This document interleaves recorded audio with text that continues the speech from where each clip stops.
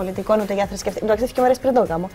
Ούτε για θρησκευτικό, ούτε σκέφτηκα για πολιτικό, ούτε μπήκα σε διαδικασία να μετρήσω καλεσμένους, ούτε ξέρω αν θα γίνει όλα. Ανοιχτός θα γίνει, ή αλλά δεν κλειστός; ξέρω. Ναι. Είπε το ψεματάκι τη. Ε, εντάξει, δεν πειράζει. Να ρωτήσω Είναι κάτι, επειδή δεν. Για να το ε, προστατεύσει, μάλλον. ε, Όταν ακόμη είναι και με πολιτικό, γίνεται ας πούμε σε εφημερίδες και τα λοιπά πάλι ή όχι; Είναι παγιομοδίτικο τον πρώτο. Όχι, πρέπει να βάλεις ανακοινώσεις. Ναι. Μα πρέπει να βάλεις. Εγώ δεν έβαλα. Σκεφτικό νομίζω πρέπει. Εγώ έβαλα πάνω, Χριστιανά μου. Εγώ ξεχάσα. Δεν ξέρω, παίζει ρόλο.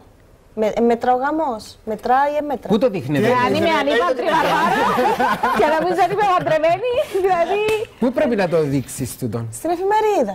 Ε, γιατί. με- Πρέπει να βάλεις Α, ιστορία δεν ξέρω, γάμου. είναι πρέπει να το τίποτε πάρετε, με ρε την παιδιά. πρόνοια. Εγώ ενώ- το προσκόμισα στη μέρη μου να μπω. Α, Τους δεν είναι, περιπτώσεις για Θέλω να απαντητής. μην το πήραν το μάτι του στη μέρημνα κάπου. Δεν θα το είδαν, να μην.